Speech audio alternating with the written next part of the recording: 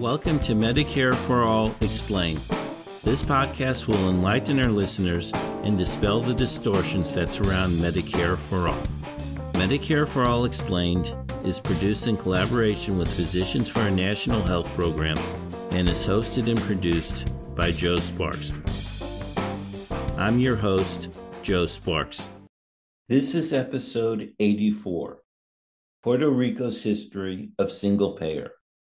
My guest, Carlo Bosques, is a medical student in Puerto Rico.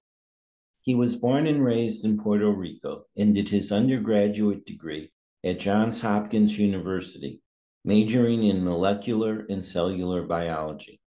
While at Johns Hopkins, he served as a volunteer at a clinic that served undocumented patients. That experience helped him to realize how inseparable health and policy were. While pursuing his medical degree in Puerto Rico, Mr. Bosques leads a group of medical students in Project Arbona that supports establishing a universal healthcare system in Puerto Rico. Mr. Bosques describes how Puerto Rico did have a single payer healthcare system, which is an often forgotten part of its history that is rarely mentioned in the United States. Carlo Bosques, welcome to Medicare for All Explained. Thanks. Thanks for having me. Really appreciate it. Please tell us what project you're working on.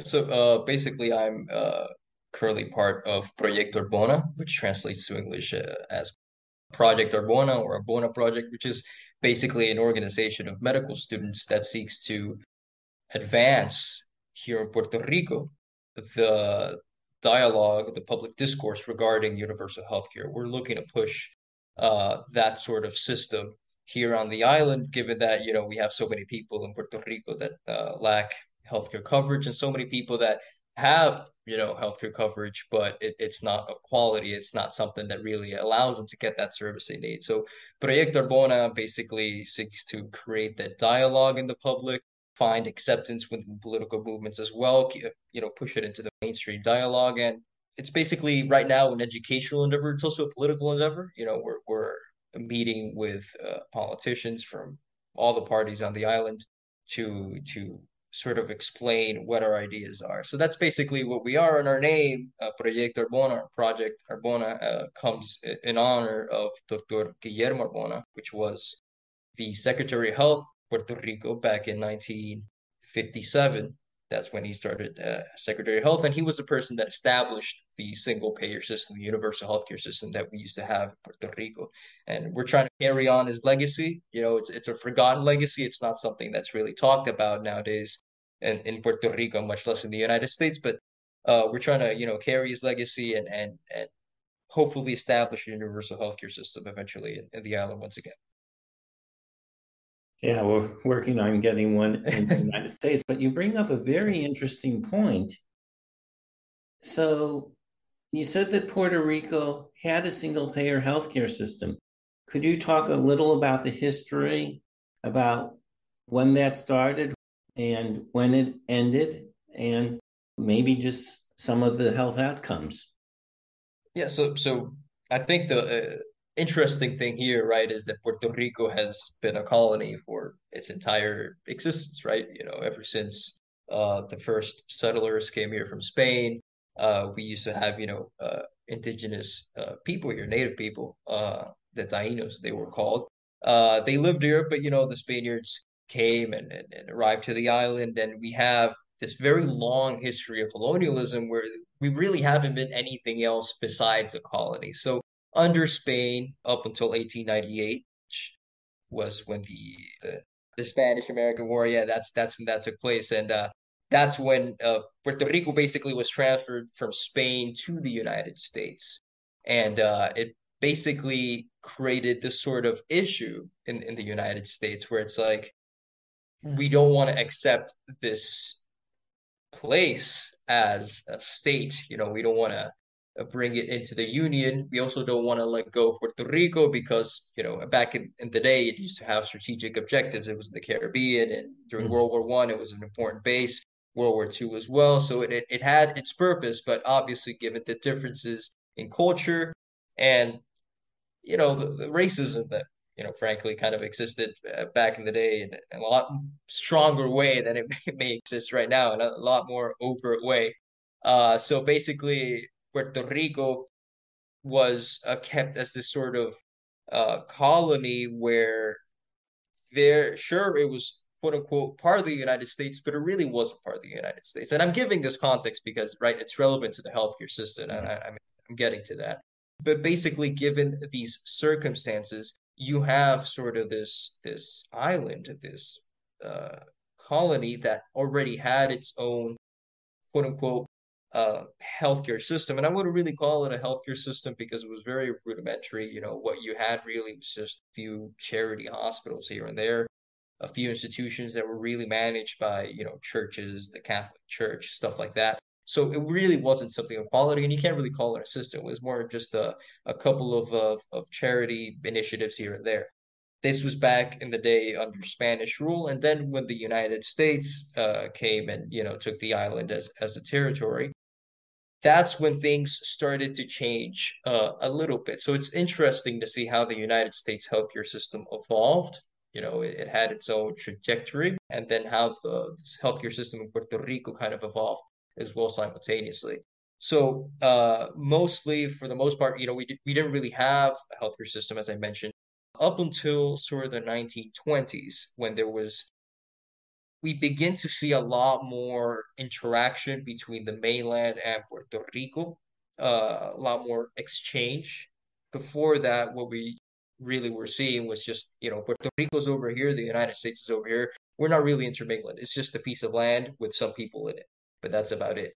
Already in the 1920s, you start to have that sort of like uh, uh, interaction and, and between, you know, people in Puerto Rico, they're visiting the United States and you start to uh, have these funds, these federal funds coming into the island as well, investing into the development, uh, basically what would become that universal healthcare system that we had. Uh, slowly, little by little, between 1940 to 1950s, around there, we there was a lot of federal funds flowing into the island, due in, in, in large part to the New Deal, right, from the Roosevelt administration there were a lot of funds that, that came into the island and allowed the development of a lot of healthcare infrastructure. So the interesting thing here is to keep in mind is that there was a lot of public infrastructure here in Puerto Rico that was developed when it comes to healthcare. But in the United States, you actually don't really see that investment in, into public infrastructure. And that's because over here uh, in Puerto Rico, there was a strong focus in, in developing that purposely developing that public infrastructure. You really had a, a lot more control from that sort of more progressive left wing of, of the Roosevelt administration. They were actually the ones that were that were dealing with a lot of affairs in Puerto Rico. And um, the interesting thing is, you know, you have this sort of healthier system that's kind of it's not fully formed. It's not really a system yet. It's just a patchwork of a lot of different public providers, but they all respond to different agencies, be it federal, be it local, and they weren't really integrated into what would be called the system. And it really wasn't complete. You still didn't have a lot of hospitals or, or clinics that were accessible to the majority of the population. This started to change mainly in 1940s and 50s when uh, what is called the Sistema Arbona, when that was established. The Sistema Arbona or the Arbona system it was established in part by the Dr.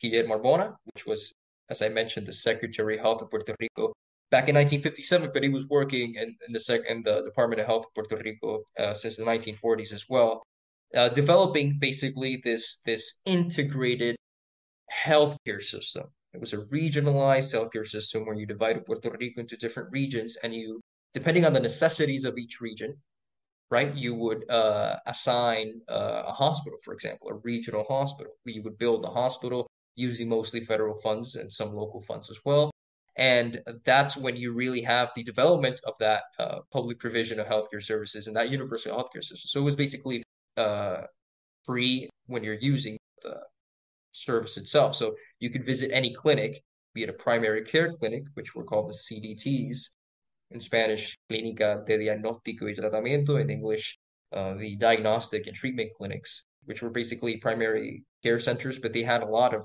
services integrated, including actually emergency services. So they were a lot of them were open 24 hours, and every single municipality on the island had a CDT established.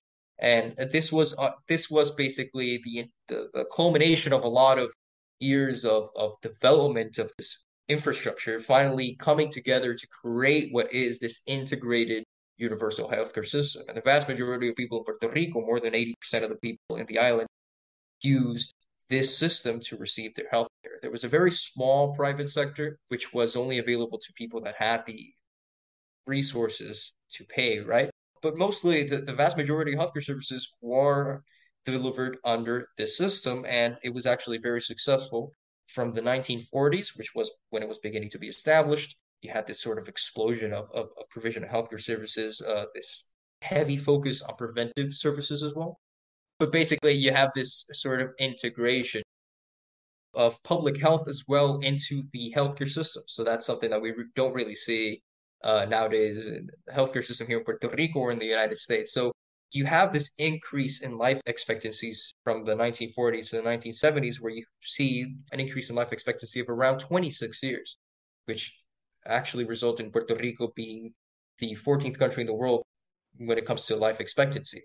So this was a huge leap, a huge jump in, in what was essentially a very poor island for the majority of its of its existence. I mean, right now, you know, we have uh, 500 years of history behind us, right? It's only been 100 years under American colonialism, but it, it really isn't until recently where you see that sudden spike in healthcare outcomes because of that public healthcare system. Unfortunately, that doesn't exist anymore because we had the slow, gradual process of privatization that that took place uh, in Puerto Rico. Uh, because, as I mentioned, there was a lot of uh, you know intercommunication, a lot of dialogue uh, between the United States and Puerto Rico in the 1920s. But by the time you reach uh, you know, as time progresses, you have more and more exchange of ideas, and slowly these uh, sort of perspectives from the United States regarding healthcare, you know, the privatization of healthcare services, sort of seeps into the discourse here in Puerto Rico. And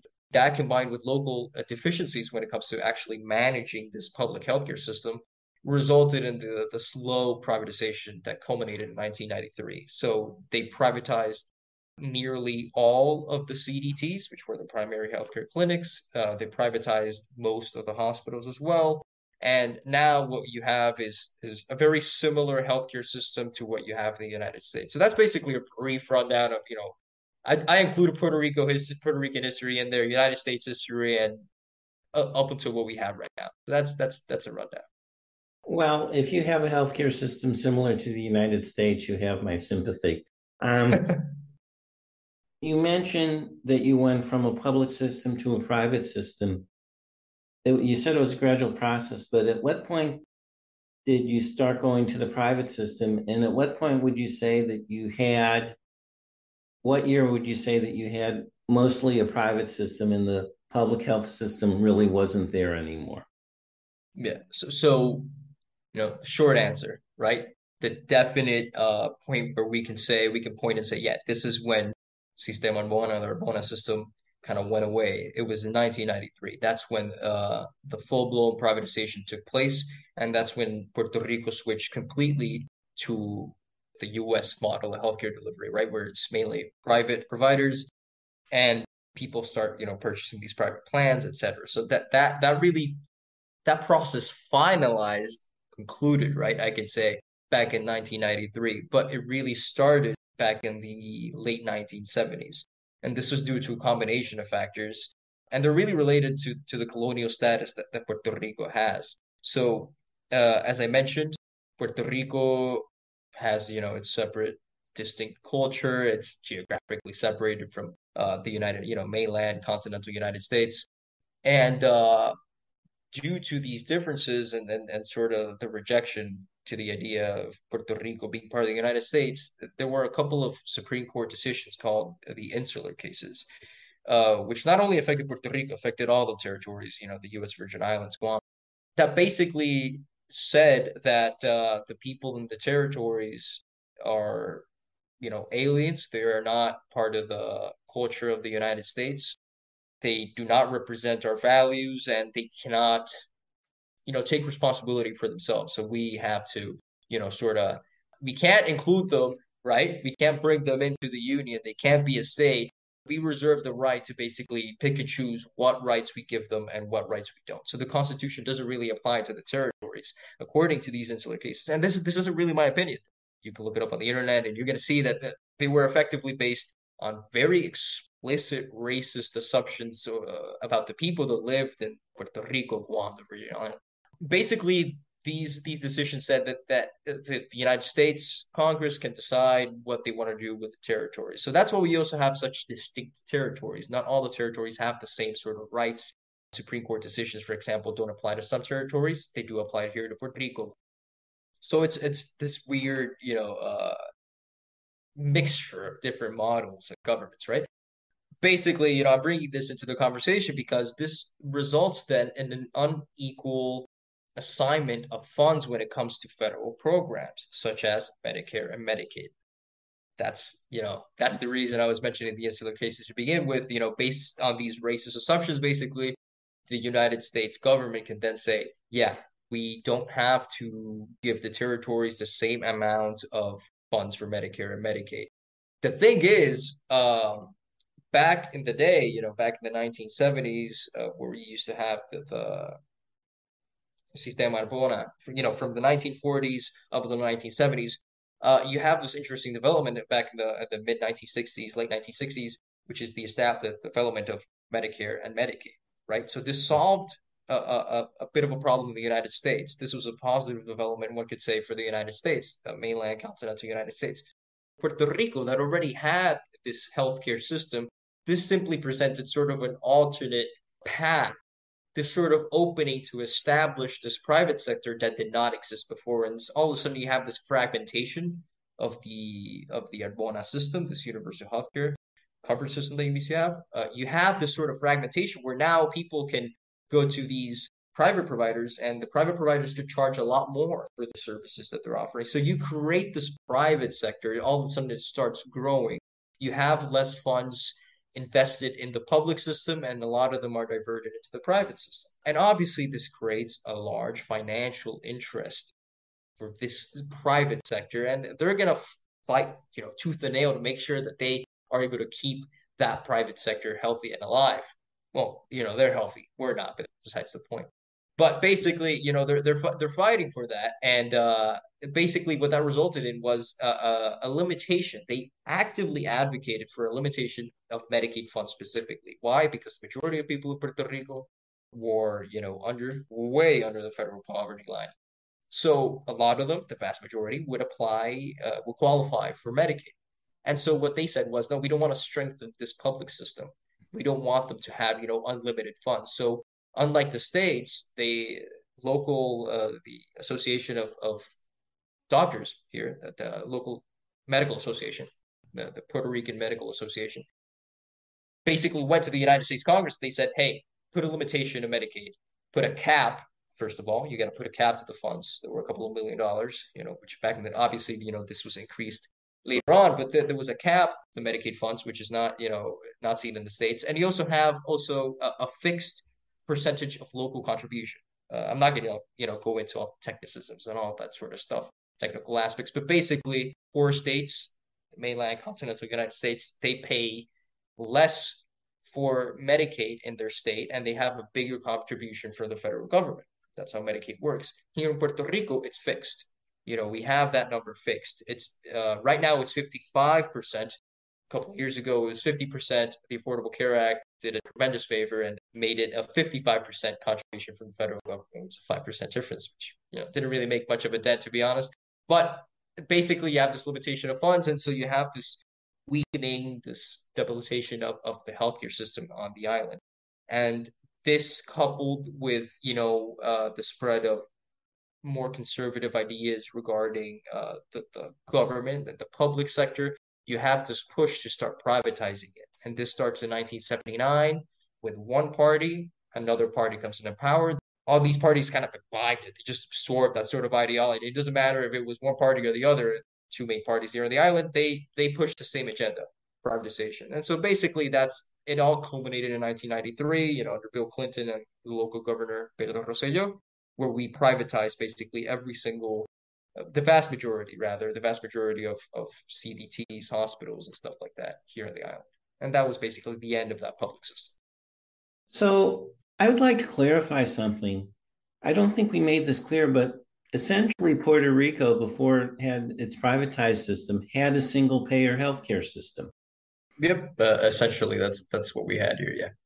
And based on what you were saying, it seemed that the doctors and hospitals were run by the government. So it was like the NHS system in Great Britain. It was very similar in part because it was inspired by by the the NHS system. Yeah. So you have this single payer system. It became privatized. Have you noticed any difference in health outcomes between your public system and your privatized system? How do they compare? So, uh, I think you know the mo the most important thing to take into account was the improvement, right? That that we saw under the you know single payer system that you, we used to have in Puerto Rico.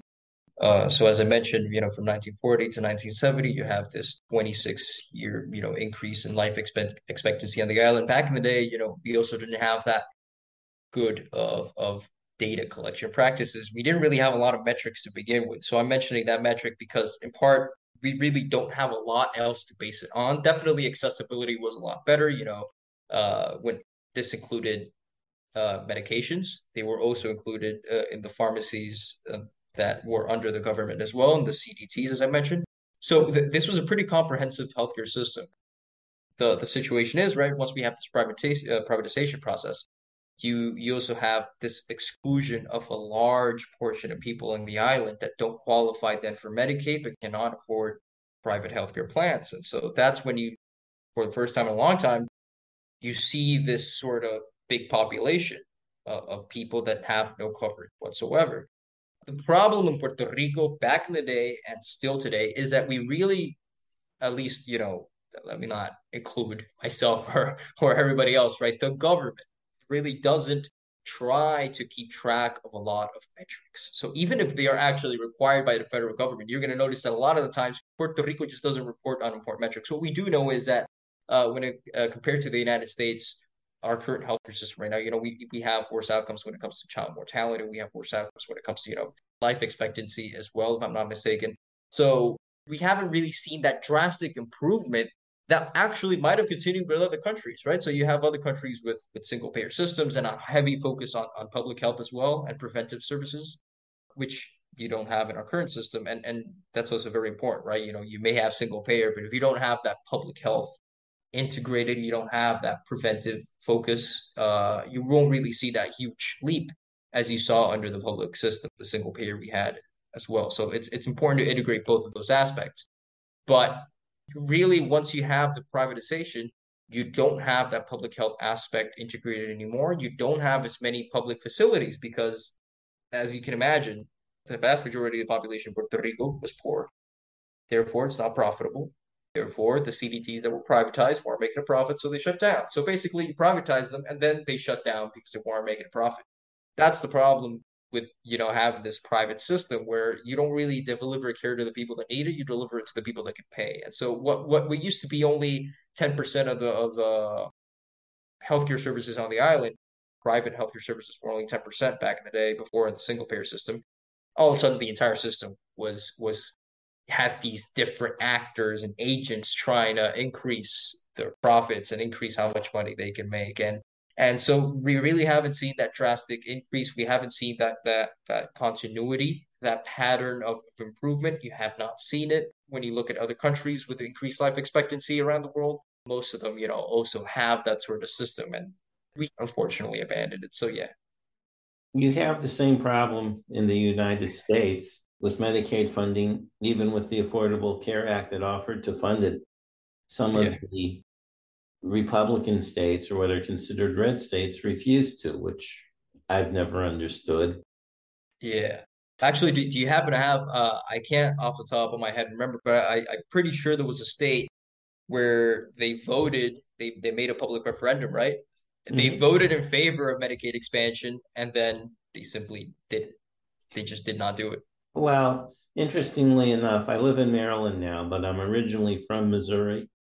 Okay. And there may have been other states that did that, but Missouri was one of the states. I don't like the governor, but finally he said, you know, there were challenges, and finally he said it was the will of the people.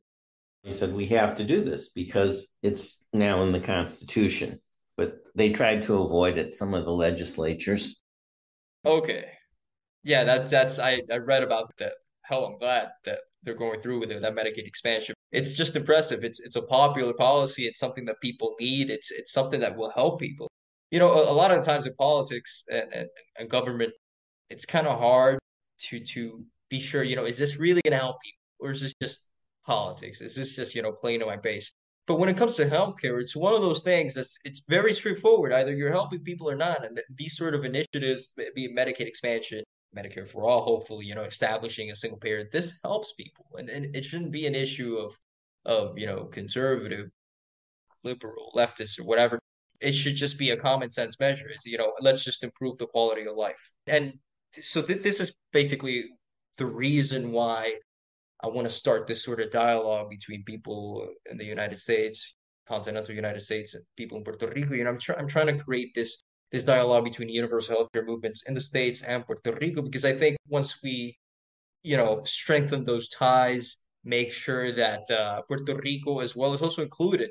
All the time, Puerto Rico is is an afterthought. It's not really included in, in major proposals anywhere for a lot of things. So it's it's I, I really want to be able to make sure that, that Puerto Rico is included in, in whatever major healthcare reform takes place in the United States. You know, this does not happen traditionally. Did not happen with the Affordable Care Act. A lot of the protections that were that were supposed to be instituted under the Affordable Care Act were not extended to Puerto Rico. So it's it's it's it's part of you know that outreach. It's necessary to be able to make sure that people in Puerto Rico, as well as the people in the United States, you know, have better healthcare outcomes and a better healthcare system. Yes, and I want to emphasize one point. You said under the single payer system, you had constant improvement. And even today, if you just look at the graphs of the United States, what you'll discover is there was improvement until we started to privatize our system. So, you know, even today, if you look at the US life expectancy, it's lower and has declined for like at least, I think, a decade. Whereas the European countries, it has gone up. Now it's slowed, and COVID may have caused some decline. But as you point out, it just shows how ineffective our current healthcare system is. And I'm rambling a bit, but people need to be made aware of that. And one of the things which has fascinated me is I had no idea that Puerto Rico had essentially a single payer healthcare system. And, you know, you had something that was working well. And of course, we privatized it and make it much worse. It just drives me crazy sometimes. It's frustrating and it's it's definitely, you know, a lot of the people that lived under that system, particularly back in its heyday, you know, back when it was doing well, you know, they remember it fondly. You know, I've been able to talk to a lot of elderly people, quite frankly, you know, healthy. My my grandpa, for example, you know, he he received services under that and he was very poor growing up and he, you know, didn't even have shoes when he was a kid. You know, he would walk to school barefoot. He would only have one pair of shoes and he, you know, keep them in his hands. He'd walk barefoot to the school. He didn't want to get them muddy. Mm-hmm. There were no roads. Goes to the school, and that's when he put on shoes. So it was it was a totally different Puerto Rico. This is not the Puerto Rico uh, that you see today. You know, a lot of things have changed, and, but he remembers that system fondly. He says, you know, I remember, you know, my family. Hell, we I only had a pair of shoes, but I I could go to a, a CDT, I could go to a, a clinic, to a hospital. I wouldn't have to pay for that. I would be able to receive those, those healthcare services I needed. And, and this has been a common topic. Obviously, it depends on who you talk to. Once you talk to people that lived through the weakening of, of that system, they'll tell you, oh, you, you know, uh, uh oftentimes they didn't have some medicines that we might have needed, stuff like that. Uh, but even then, it, you know, it all depends on the political leanings as well. Some people are going to say like, "Oh no, that didn't work at all," and some other people are going to say like, you know, it wasn't perfect, but it, I, I had access. You know, a lot of people simply don't have access right now to healthcare services in the island. So uh, between three hundred thousand to six hundred thousand right now. Uh, so uh, yeah, it's it's it's definitely a shame that we adopted this system that, that simply just weakens our ability to improve healthcare outcomes here in Puerto Rico. And literally, people die because they can't get the healthcare they need. I don't know, again, I don't have statistics for Puerto Rico, but in the, and I hate to say it this way, because Puerto Rico is part of the United States, but in the mm-hmm. states and the District of Columbia, a report came out that estimated that 76,000 people die annually because they can't afford or can't get access to health care. Mm-hmm. And so here we're having this debate when the evidence is just clearly that a single payer system would save lives and save money. It would reduce the overall healthcare costs for the nation. So it's just amazing to me that these people keep arguing, oh, that a private system is better. It just enrages me. Look at the facts. Yeah. And, and, you know, obviously, you know, within US history, so oftentimes you'll hear people say, oh, you know, we can't implement this experiment throughout the United States all over the place. You know, you know, this has never been tried. But the thing is, here in Puerto Rico, you can't really even say that because we already had that system. You saw the, those tangible, you know, improvements in, in, in those metrics, and that uh, particularly that access that people used to have, and now you don't.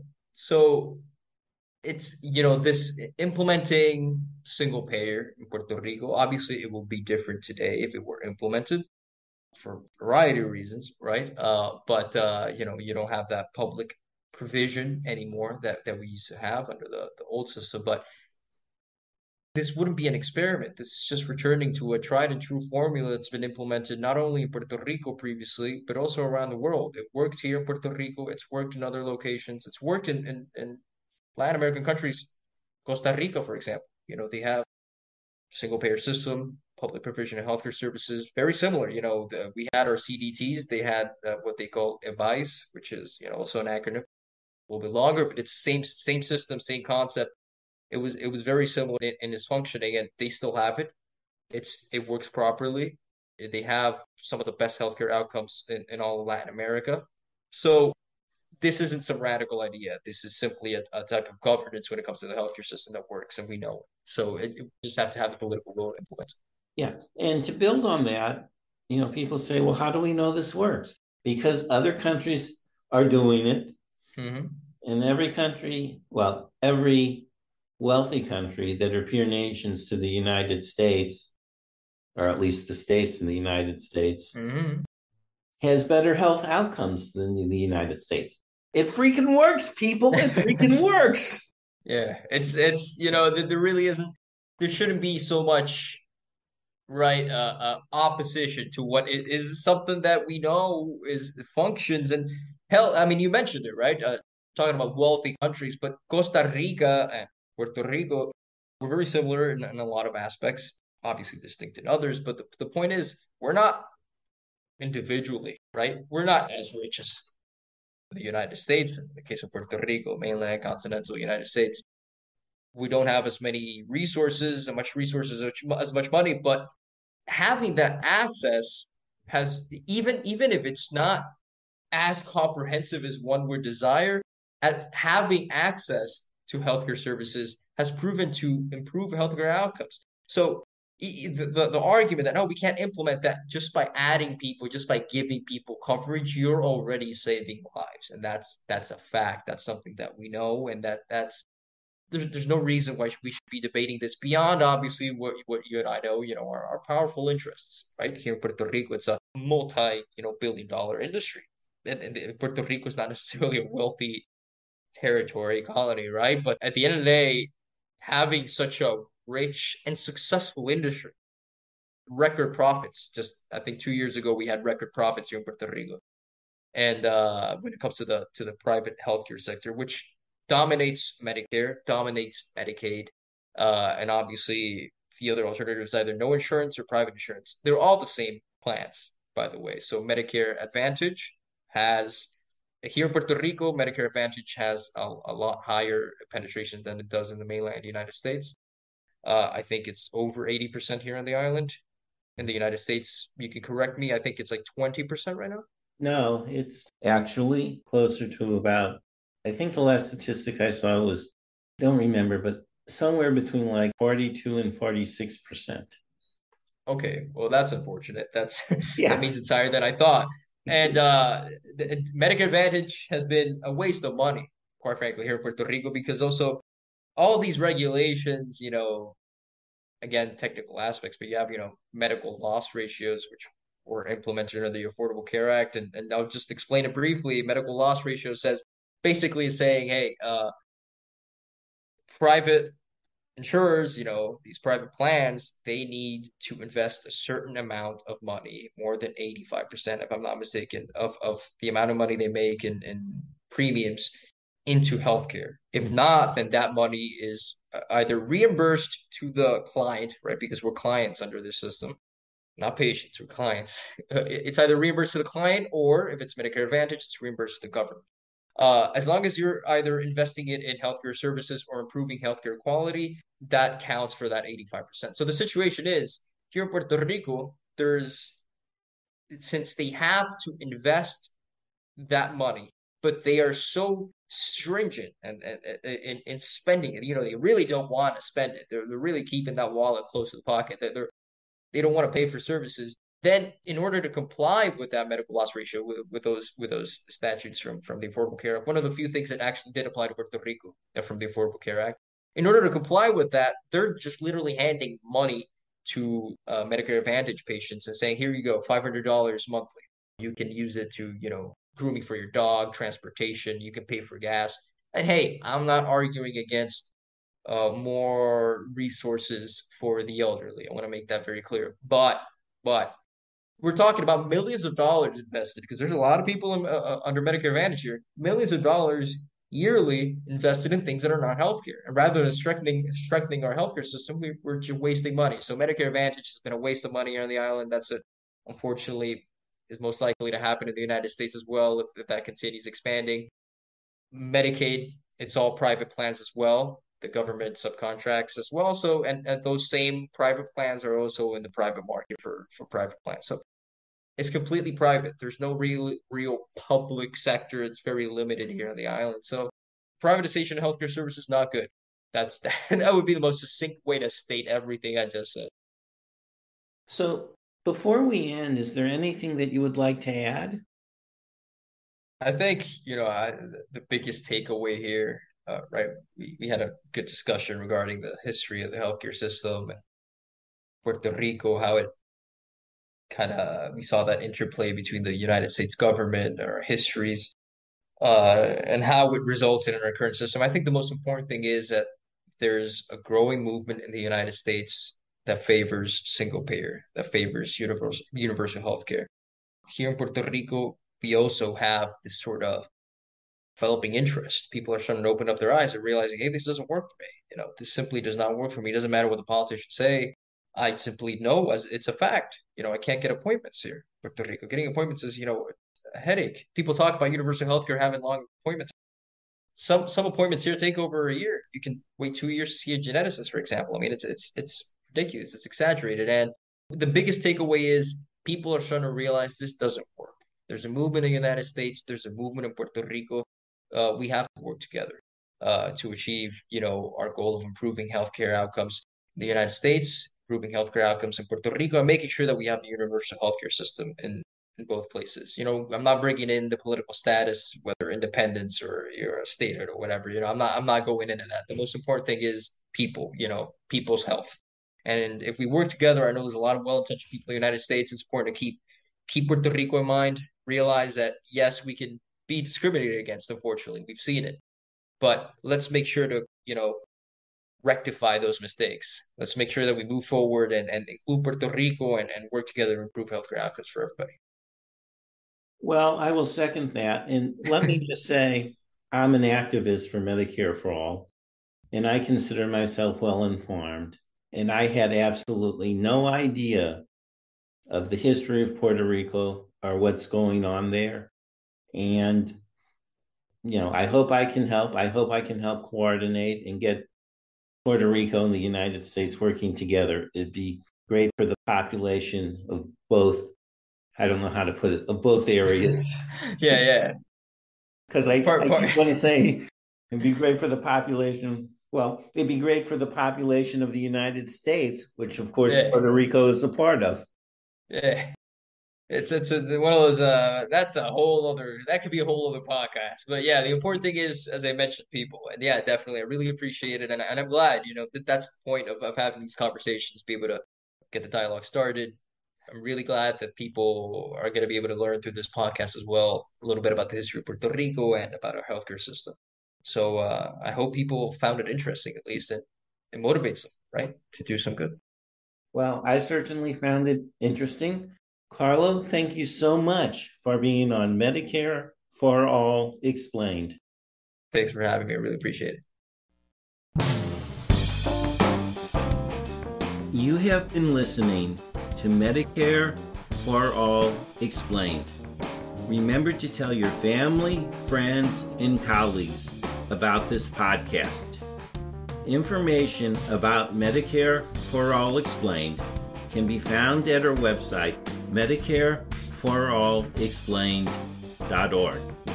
The music for this show is Super Bubbly by Jesse Spillane. The logo was created by Lily Sparks. Thank you for listening.